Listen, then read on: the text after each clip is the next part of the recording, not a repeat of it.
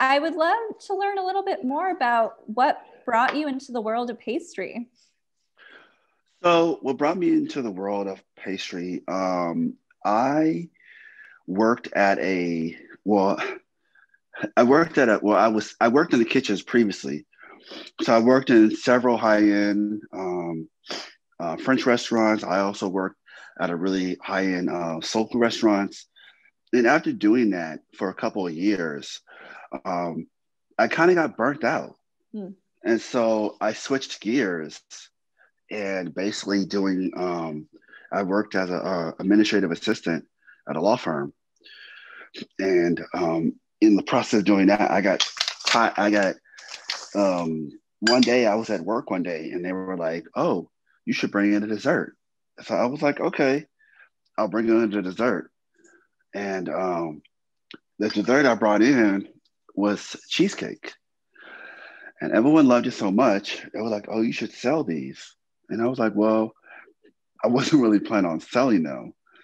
And uh, people were like, "No, they're so good." And so one of my good paralegal friends, who we are still friends today, um, was like, "Hey, if you if if if you want to do it, or if you need help, you know," he was like, "I'll help you with it." So I was like, "Okay, cool." I was like, "If we're gonna do this," I said, "I have to make it my own." I said, "I can't just do this. I'm not gonna just be just a run of the mill kind of cheesecake person." I said, "I want to do really innovative flavors and out of the box, something that's not just so sugar coated and candy flavor." And so we were running through ideas um, and then he was like, you know, you should start making them smaller. And I was like, oh, that's a good idea. And so fast forward, um, I said, I'm going to make this my own, I had to think of flavors. And that was my, my signature flavor that I came up with. It's called Beaten Berry. It's one of our top sellers actually till today. Uh, and so people really, really enjoy it, along with our other seasonal flavors that we have. Um, along with our other seasonal flavors that we make throughout the year as well. Um, so in you know in the summer we have a roasted corn and blackberry. We have a um, a, uh, grapefruit and uh, uh, tarragon. We have a roasted pineapple and sage. So and then we have our holiday flavors. We have pumpkin. We also have a maple pecan. So we have a plethora of, of flavors that we do, and we you know we're always introducing and making new flavors. So yeah, yeah, those yeah. sound super delicious, especially that they are blackberry is my jam. Yum. Um, so do you need to get set up a bit? Or? Nope, I'm already set up. We set my, up. my my my my uh my baker, she prepped everything already for me, and we put everything in the bowls, and I am ready to work. awesome. Oh no, we we are, we already knew that this was we, we already prepared for the worst. So we was like, you know what? Let's just pre pre plan everything, so that way everything is good to go. Wonderful. So right now, I actually have my. Are you able to see my mixing bowl? I am. Yes. Okay. So let me see if I can. Okay, there we go. Oh, tripod, very professional. Hey, so here is uh, so I can just talk and walk through it. Yeah, let's uh hold on. Let's pause for a sec. We're we're making eggnog okay. cookies, right? Yes. So we are making eggnog cookies today. Um, these cookies are actually they are inspired from a Russian tea cookie, actually, Ooh, which yeah. are called Mexican wedding cookies. They are sort of like the same. They are the same formula of a, of the of the Mexican wedding cookies if you've ever um, made them before. Mm-hmm. Um, so they kind of are put together the same formula. There's actually, and they actually can be made, they're actually dairy, they actually can be made dairy free and gluten free. Impressive. So, so that, you know, well, gluten free mostly, but dairy free, you can, there's no egg in it, I guess you say. There's no egg, but there is dairy because there's butter. so they can't be vegan, although there is some no. good vegan butter out there. There is, and you can substitute that for. Um, my favorite is um, you can use Earth Balance, or you can use um, uh, what's the other one called? Um, Way to Your Heart. Okay. That's a good one. Yeah. Um, just to briefly interject, um, some folks are wondering what our schedule is now, and I think we're just gonna go as long as we need to. Let's just, we'll do let's the just, demo. let's just, we'll get all yeah, the let's- questions answered. yeah, let's just go with it. Yeah. okay, great. Um, so is this? Well, why don't you start, and then I'll interrupt you a few times. Okay. So within this recipe, I have one cup, one cup of butter. And so basically, the way this recipe works, like I said earlier, and you can kind of play around with the spices. You can kind of make it more holiday-ish. We decided to make it more of a egg, uh, eggnog cookie, but you can kind of play around with flavor profiles that you want to play with and make it more fun and festive, especially this time of year.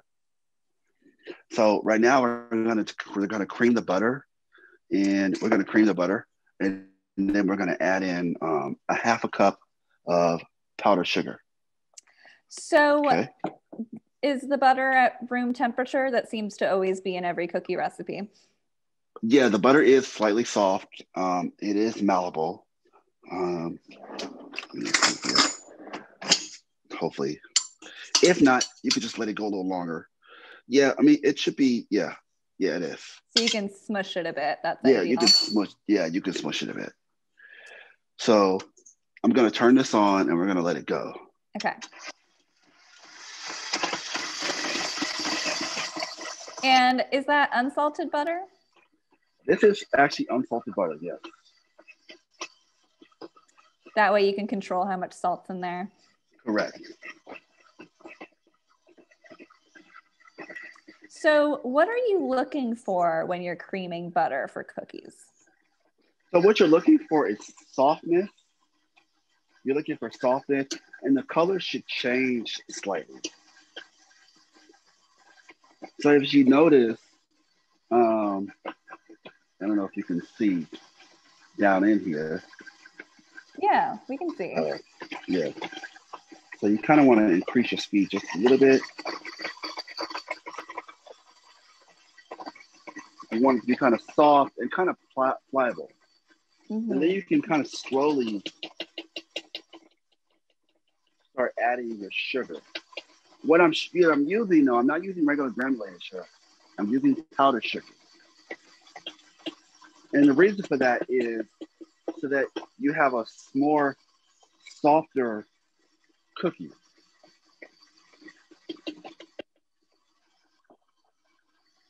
Actually, yeah. I'm gonna add a little bit more butter. Sorry. Okay. I'm gonna turn the machine up a bit. So we're gonna add, I think we just add all of this. So, um, so this recipe will make will make 20 will make 20 uh, cookies. So we're gonna let this kind of just kind of work and just kind of do its thing. So, what And would you gonna- recommend for people who don't have a mixer? a mixer. So I would recommend that you take that you take your butter out at least an hour prior. And as you, as you can see, it's kind of coming together. I'm gonna add the rest of this powdered sugar here. Um, if you don't have a standing mixer, I do recommend you take your butter out a- an hour prior and let it come to room temperature. If you have a hand mixer, that works great. Um, and also in the process, you're to see it's starting to cream. But one thing that you want to do is keep in mind is you want to scrape down your sides.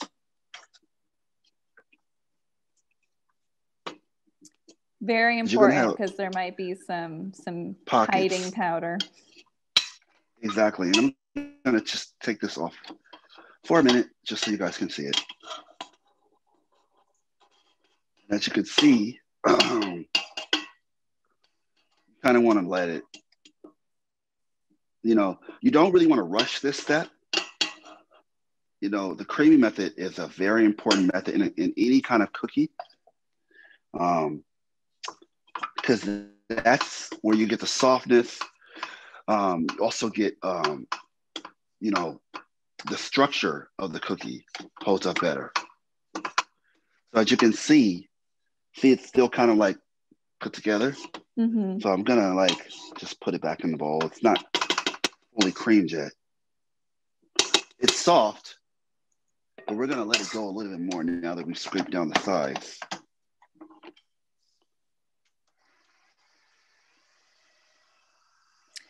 So okay. since you added some more butter in there, how much? I did. So I added.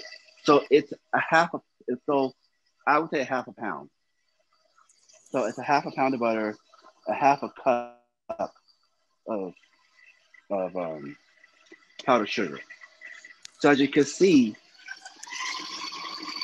see the color has totally changed. It's kind of gone from a, a pale kind of color. Yeah, it's much more pale. Yeah. And so then you want to add your, this is your flour mix. So I don't know if you guys can see this. You want to add your flour, but which before you add your flour, you want to add your um, you want to add your nutmeg. You want to add your nut your nutmeg and your cinnamon. So I add, um,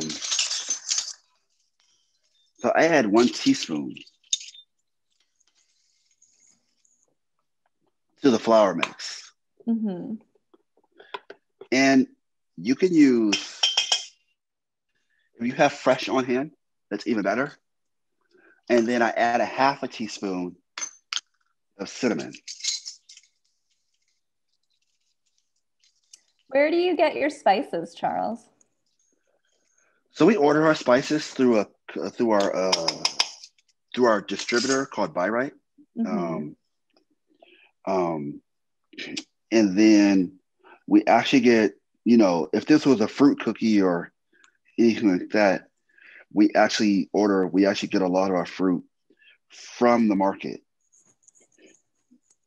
So we do try to make sure that we get all of our produce that we use for all of our cakes um, for from the local farmers market, particularly on Saturdays.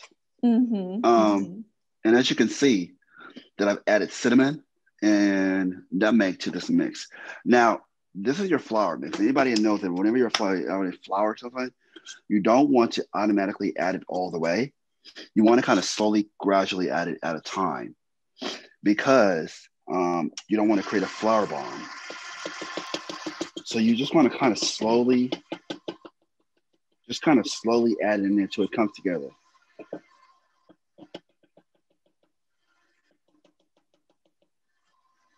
And like I said, these cookies are very versatile.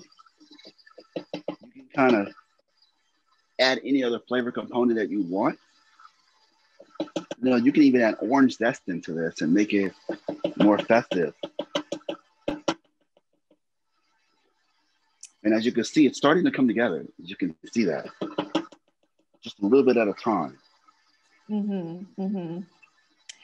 And um, so what was in your flour mix? So I put, um, I put a tablespoon, I mean a teaspoon of, of nutmeg, mm-hmm. of ground nutmeg, and then I put a half a teaspoon of cinnamon. Oh, so the the cornstarch hasn't been added yet. No, not yet. Uh, okay. No, the corn, yeah, no, no, no.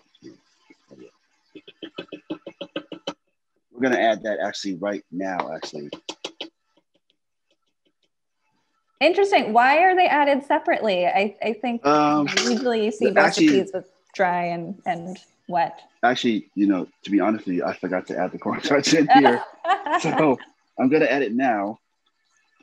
And that's the thing about baking. It's like if there's a mistake, if you catch it good enough, you can kind of work with it. And luckily, this, this mix actually has no, um, it doesn't have any wet ingredients in it. Mm-hmm. Right, because there's no eggs. Yeah, there's no egg. Now, as you can see, that it's still coming together. And we're going to turn it on a little higher just so it kind of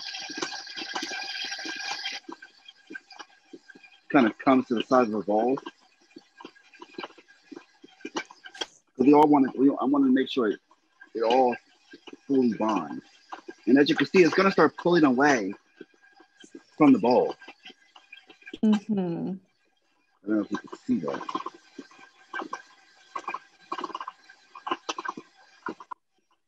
Yeah, it's definitely becoming a dough. Is there a danger of over mixing?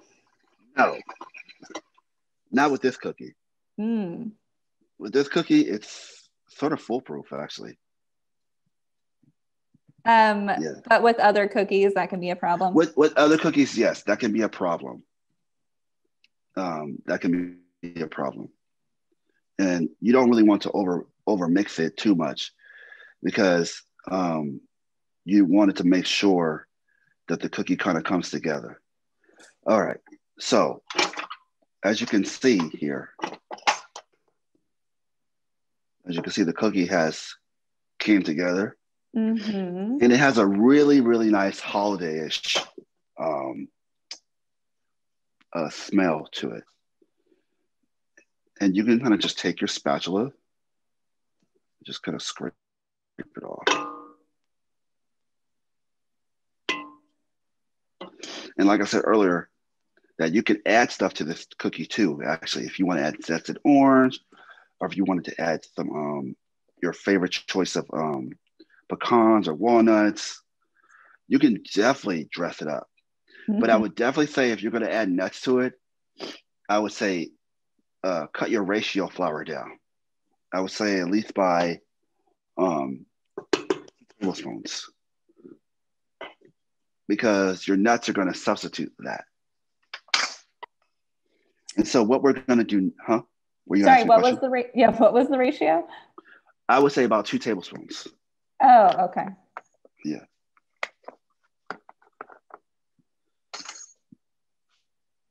And so what we're going to do now. Oh, Charles, you accidentally stopped your video. Oh, there we no, go. Great. Someone someone was calling me. Oh, okay. I, I get so many calls. All right. So now what we're going to do is we're going to move the mixer out of the way.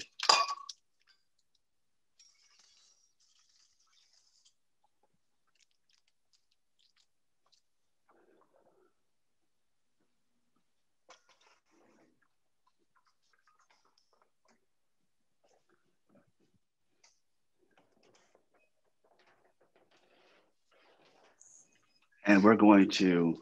Can you see me? Yes. Okay. So we have our dough. Um,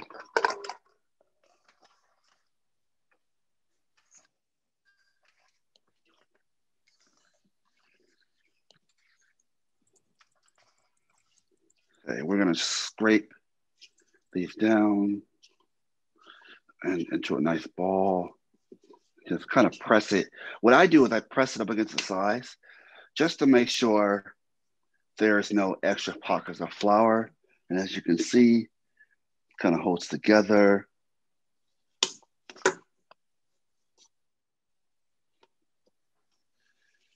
Okay. And so what you want to do before you start baking them, you really want to preheat your oven. hmm So home ovens are notoriously fickle. Um, do you have any advice for people in terms of following a recipe or or maybe trying to figure out what temperature their oven is actually at? Um, I like to do. I would definitely recommend doing it at 350, but you can do 300 degrees if you're not sure about your oven. That way, you can kind of you can kind of add a little bit of a buffer. Mm-hmm. You know, because some people's ovens um, are a little hotter uh, or run a little slower. And so, what you want to do um, before you start your cookies, you want to add about a half a cup of powdered sugar. Because this is the method that you're going to do for basically you want to roll your cookies in your powdered sugar mix. And you can roll, you can do around three or four at a time. And how many tablespoons is that um, scoop? So this will make 20 cookies. And this is a, um, let me see. I think this is a, this is a eight, 18th, uh, this is a eight, uh, number 18. So 18th and a eighth, I guess. But I think it's a, I think it's a one.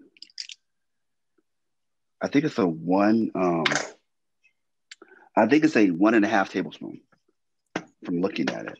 But I like to make them smaller, but you can actually choose to make them bigger if you want to do them for like a bigger cookie. But mm. these are great for like, you know, a party or if you're doing like cocktails, you know, and things like that. And did you do anything to the sheet? I did not. Mm. So you can just use a just your bare take your sheet. You can choose to put parchment paper on the bottom. I, I did not do that this time. Um, yeah. Um, so I'm just uh, laying them on the sheet tray. So they are they're not going to stick. They're not going to stick. They're not going to stick. But it's best to always use parchment paper if you have it available, or you can use wax paper whenever you make any kind of cookie or baking an item. And then just kind of take it. And you want to set your cookies about a couple inches apart. So that way.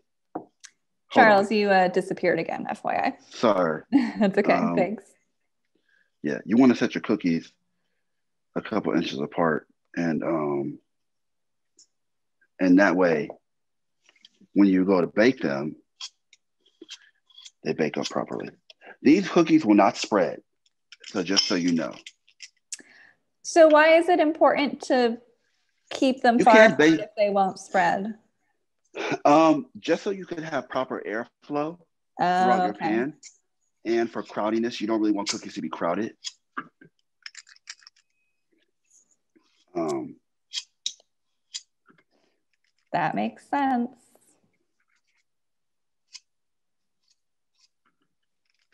So how about if you're making a lot of cookies? Um, would you not recommend putting multiple batches in the oven at the same time? Like, should it just you be one tray at a time? I recommend always two trays at a time, you know, and then alternating them. Um, I say alternate them throughout your oven, you know, flipping them 15 minutes uh, from front to back. Mm-hmm. Mm-hmm. So that way, um, the cookies cook evenly.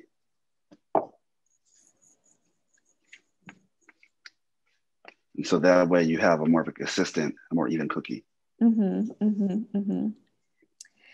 And do you have recommendations for holiday home bakers who are maybe planning to bake a bunch of cookies this weekend for friends? Like how, oh. how do you balance? So I would recommend I would recommend if you're going to bake a bunch of cookies, use a, I like to call it a one trick recipe.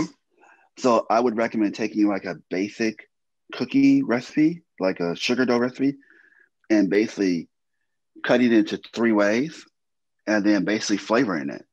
Mm-hmm. And that mm. way you have three different flavors, but you're using one dough. So that way you don't that way you don't over extend yourself. And then you can add different toppings, you can dip them, in chocolate, you know, if you choose to do that. But um, so now that all the cookies are baked, I mean, or, or, or put in a pan, they're going to go in the oven. I'm gonna wash my hands real quick.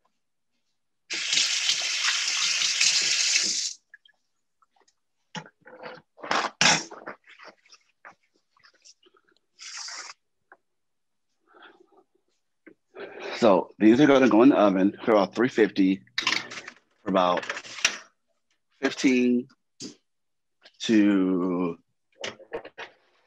15 to about 15 to 20 minutes. And so mm-hmm. What we actually already did ahead of time, actually have a tray that is already done.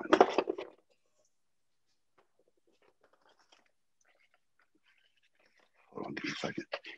So um, I always recommend keeping it fun, keeping it creative, and you know, being just just having fun with it.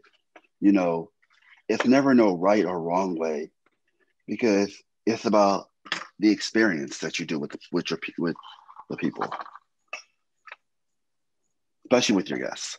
So we had already we we pre-baked these prior, as you can see, um, and they're good to go. That you could actually just re, if you really want to add more powdered sugar into them, you can just re-dip them into powdered sugar. If you want that that snow Oh yeah, I'm surprised to see that they absorbed all that powdered sugar. Yeah. So you can actually just redip them.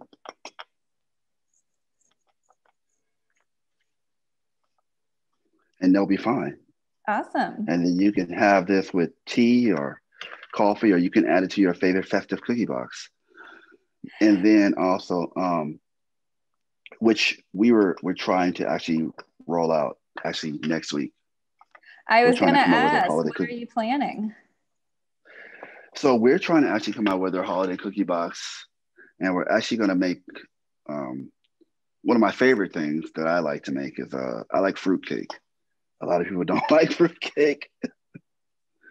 um, yeah, they think it's the most disgusting thing in the world, but I actually like it. Um, um, so we want to come out with our holiday gift box for Christmas and then also while still taking orders for our holiday cheesecakes. Mm-hmm. You know, um, Christmas is a, is a time of year that I feel like you know time to get together, you know, hang out because we just had Thanksgiving, so I think it's more of a relaxing holiday. You know, for me, that's the way I look at it. Yeah, it's lower pressure food wise. Mm-hmm. And I think I eat a lot more sugar in December, just like constant sweets all the time. Yeah. So now that we actually are, um, they are actually fully coated, you can actually serve these with tea or coffee or you know, or anything that you choose to. Um, given you've dipped them in powdered sugar twice, are they really sweet? Um, they're not extremely sweet. I mean, but I mean that's why I like to have it with something, mm-hmm. so that way it's not it cuts the sweetness. But you can also add different elements to this too. So you can also add. Um, I like to add um, for me, I'd like to add a little orange to this and make it more holiday-ish. Yeah, how much orange zest would you recommend adding to this recipe? I would say about two tablespoons. Two tablespoons, okay. Mm-hmm. Just That's so you can kind of get. Mm-hmm.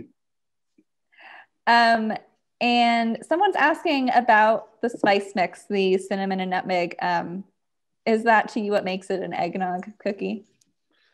Yes, because eggnog is actually just basically nutmeg. So if you add nutmeg to something, we actually have um, we actually did an all we're actually doing this week at the farmers market. If people want to come out and, and grab a slice, we're actually doing our eggnog cake, and it is amazing. I'm gonna um, turn the um, camera around. Yeah, Brie mentioned that she got to have a slice. I'm a little jealous. It sounds delicious. Yeah, the eggnog cake is actually we actually sold a lot of it um, it was very popular. so, what other flavors would you recommend experimenting with for cookies this winter? Um, for cookies, Yeah. I would definitely recommend. Um, I would definitely try to do a pumpkin. So in the kitchen, we did a we did a pumpkin crinkle, which Okay. is actually came out really good. It's, it's soft. It's a soft cookie, but um, it once you let it cool, it actually comes out much better. So we do recommend that one. You know, it's all about experimenting and having fun. We were when we did our holiday cookie box for um for Thanksgiving, we actually made a cookie was we make we actually made a hermit cookie, which is basically a flat gingerbread cookie. It's really good. It has raisins, um, it has raisins, dates, no raisins and caramel uh, crystallized ginger. You grind it up, then you add molasses, brown sugar, and spices, and then you it, it's like sticky, but you you let it refrigerate it, and then you put it on a sheet tray. You put it like a log, and then when you bake it, it kind of flattens down like a disc. And it's a great. It's a it's a when you eat it, it's like a soft cake, but in a cookie at the same time. Mm. Yeah. When and I it's think really of, good because sorry, Go go ahead. I was gonna say when um when you when you eat it, it's kind of like a soft between a cookie and a cake. yeah. So I was just thinking about, you know, building your ideal holiday cookie box and, and how you want to have different textures in there for people and yes, I love different textures and different flavors. Um, because that's what I that's what I, I that's what I love the most. Because I feel like you need to have those different elements to really make it work. Mm-hmm. Mm-hmm. Yeah. So, So- one person is asking about other flours that might make for some interesting cookies, like not just standard all purpose. Oh, you can use cake flour, or you can. This recipe actually can be made with gluten-free flour as well. So you can use cake flour, but cake flour will give it a, a more of a cakier, a more of a cakier cookie, and you want this to be cross between a cookie and a biscuit, Mm-hmm, mm-hmm. But for other, but you don't want it to be like. like, uh, like I really for like other cookies. almond flour cookies. Oh, I actually we actually did a cookie. We actually did one um, for our holiday cookie box for November. We did I did a gluten free chocolate star cookie, and Mm. that one actually consists of of ground um, almonds. And the way that was put together was you grinded up the almonds, you grinded up the chocolate, then you added your flour, then you added your flour mixed to the um, to the chocolate and almond mix while the actually while it was still running, and then it came together like a sticky, like a like a like a soft dough, Mhm, and it was so wet, but you had to let let it overnight. But other than that, it, it came out really good. So you know, it's all about playing around with different flour, and it's okay to mess up because even if you even if it doesn't come out good to you, your guests may still love it. totally. Everyone has different So- taste. Exactly. And you can be like, oh yeah, yeah, that's that's the flavor I was going for. you know, we've all been there. Play it You off know. real cool. hmm Right. You know, it's never, it's always going to be a challenge in the kitchen whenever something comes up. Yeah. So so someone else is asking about these eggnog cookies. Um, have you ever tried a cocoa and peppermint variation? And and if so, how would we that work? did.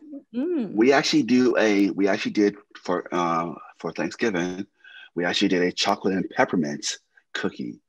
And that one was really good. It had a chocolate, it had a chocolate, um, it had a chocolate um, soft center and it had a frosting on top.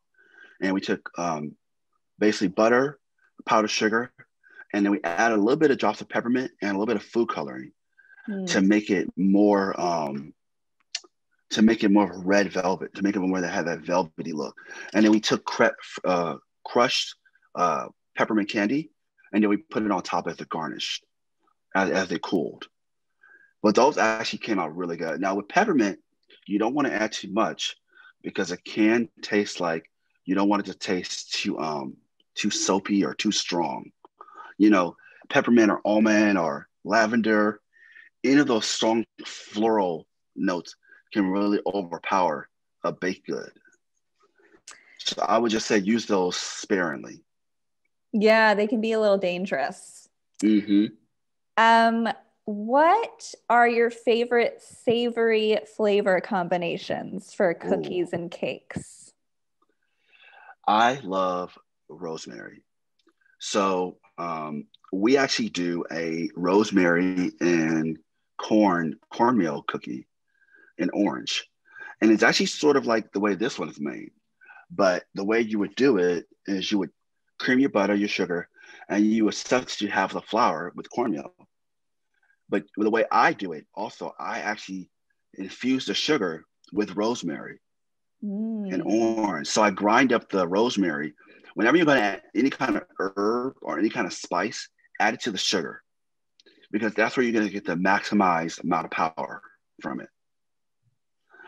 And so we add it there, and then we add it, we mix it all together, and it actually comes out really good. It comes out has a lot, a lot of fun. The rosemary, surprisingly enough, is not very over. It doesn't overpower the orange. Mm, mm-hmm, mm-hmm. So when you're yeah. infusing a sugar, um, do you remove the rosemary after a while, or do you just leave it in there? You just leave it in there. You can do it in the you do it you do it in the food processor, mm. so it mm. all kind of gets um, it all kind of gets immersed into it, and that yeah. way everything kind of comes together. That's great. Yeah. Rosemary's amazing. Um, I've yeah, and you can always do thyme mm-hmm. or lemon. Mm-hmm. I've had some some uh, some surprisingly good bay leaf desserts around the Bay Area, actually. Bay leaves. Mm-hmm. There I do is... recommend a good book. If anybody wants to know about a good book, the, the books that I use, I recommend. Let me grab one for you. Ooh, the secrets to okay. all of Charles's baked goods. This is one of my really good books. It's called The Flavor Bible. It is amazing. So definitely, you guys should definitely go get your copy. Um, I learned a lot from this book. Um, it's definitely, it's not a recipe book, just so you know, it is a flavor book. So if you look up any flavor, so for example, let me look up something. So if I look up if I look up, um, let me see what this is. So if I see, see it says fennel seeds, it, mm. it has, you probably can't see it. It says, it says sweet, light, uh, quiet, quiet, medium, adds near to the end of cooking to processing. It's great with apples, great to bake apples. So you can probably see a little yeah. bit of it. It's like a cheat sheet for every ingredient. It's like a cheat sheet, yeah. So that one is really good. Um, I definitely recommend that one. Um, um, yeah. Um, so, so, we have a few more questions from folks. Sure. Um, in this eggnog cookie, could you add a bit of walnut flour to it? Yes, you can. You can actually substitute uh, walnut flour or um, almond flour. Mm-hmm. As long as you, you take out, um, I would say I would say a quarter cup of the regular flour. Okay. Because you don't want to add that in there because you really want to have the flour adds the structure. The walnuts will add the structure too, but they also don't add the bind. They also add. They also don't have the binding flour or the gluten aspect of it like regular flour. Mm-hmm. It will add a very nutty aroma, which is great. Yes, and mm-hmm. These cookies are a little unusual in that they don't spread at all, but no, why but why is that? Why is that? Yeah. Um well, like I said earlier, they're derived from the, the actual the, the the Russian tea cookie mm-hmm. or the or the Mexican wedding cookie. Um so they're meant to be eaten as a daytime cookie. So you have them during the daytime or as a light snack you know, or a great element sorry, to a cookie sorry. box. I think the question was more like what like what is it about the way the butter is creamed or the ingredients that makes it oh. stay together? So um what makes it stay together because there's no there's no moisture. So mm-hmm. we don't add mm. any egg. There's no egg or vanilla. Um if there was egg in here, the egg would actually separate them and it actually would make them rise. So we don't want them to rise. We just want them to stay together and hold.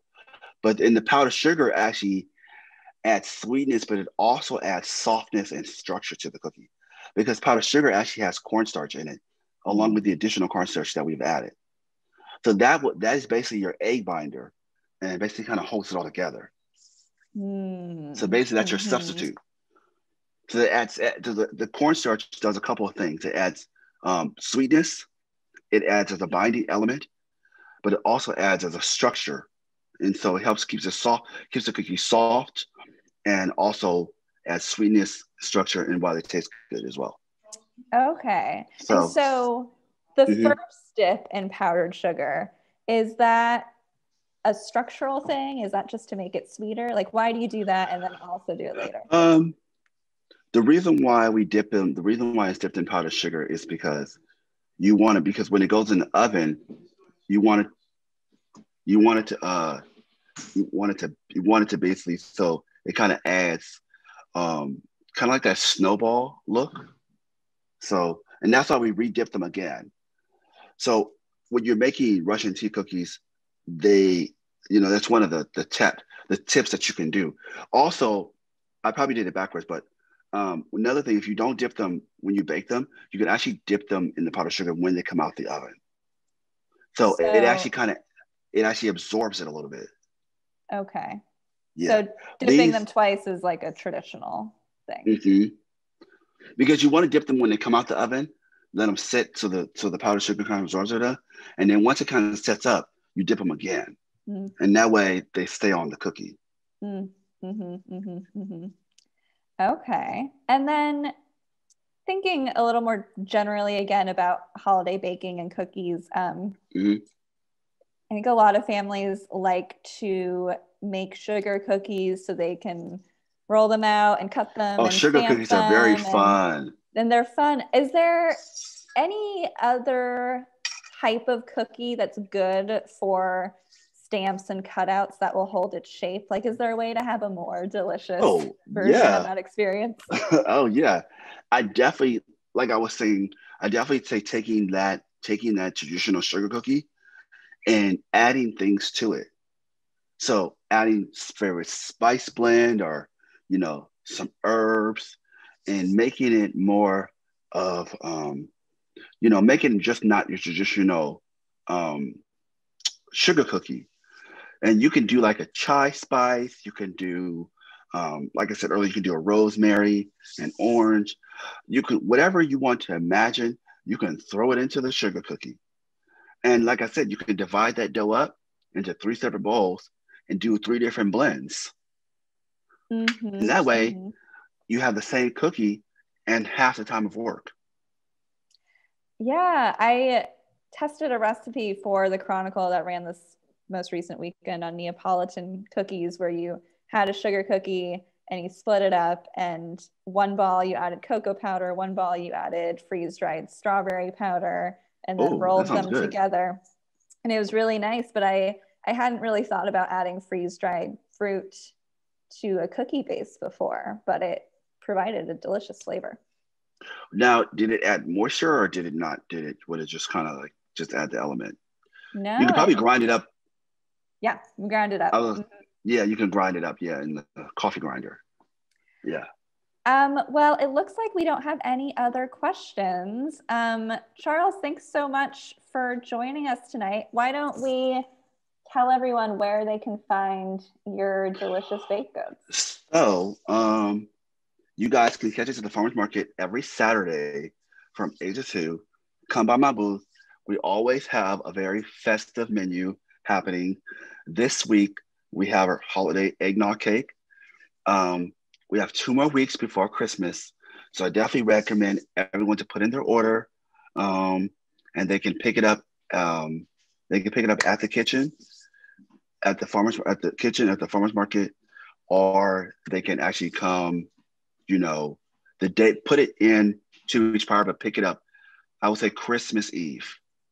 And you are talking about the Ferry Plaza Farmers Market. Are you at correct. other farmers markets these days? We are. So we are actually at um, we're actually in Marin on Sundays from nine to nine to one um, on Sundays, and they we're actually in Walnut Creek on Sundays from eight to eight to one, and then we're actually at Grand Lake uh, Farmers Market from eight to two as well in Oakland. So those people that can't get across the bay or they can't come to San Francisco, you can always catch us in Oakland as well. Great. And mm-hmm. I know you also offer some delivery too, right? If we do. Stay home. Yeah, we do offer delivery, or they can actually order through um, DoorDash. They can order through DoorDash, and we can um, and they can have it for customer pickup, or they can have it go out for for pickup. Awesome. Well, and oh, go ahead.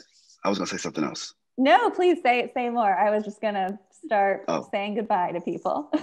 I would say they could also check out our latest article. Um, it was written up in the um, in the Mercury News yesterday. So definitely check out our um, our website, or you can go on my Facebook page, and definitely follow us on Instagram if you definitely like our products, and definitely look out for our holiday gift box that we're coming out hopefully next week. And um, hopefully everyone will stay safe and, you know, throughout these rough times. And hopefully I can see everyone next year. Yes. Well, that was a beautiful ending, so I won't add much else. But thank you, Charles, so much um, for joining us, and especially with the traffic and the frantic yes. arrival. And oh. um, it's great that you you made it. So thank you. And well, luckily for my team, we kind of got everything together ahead of time. Yes, your baker deserves a raise or something. Pat on the back. Yes, um, we're working on that. Yeah, and thank you everyone for joining us tonight. Thanks for supporting local food. Thanks for supporting local media. Um, we really appreciate it, and hope everyone has fun baking and eating sugar this winter. Yes, and thank you guys. Definitely follow us on our social media platforms and thank you guys for participating. Sorry about the late um, entourage, the late mm-hmm. rush. and, um, you know, hopefully everyone had fun and asked a lot of questions. And I'm hoping again to do it again next year. Hopefully we can do it live in, in person. That'd be nice. Um, all right, sounds good. Bye. Bye.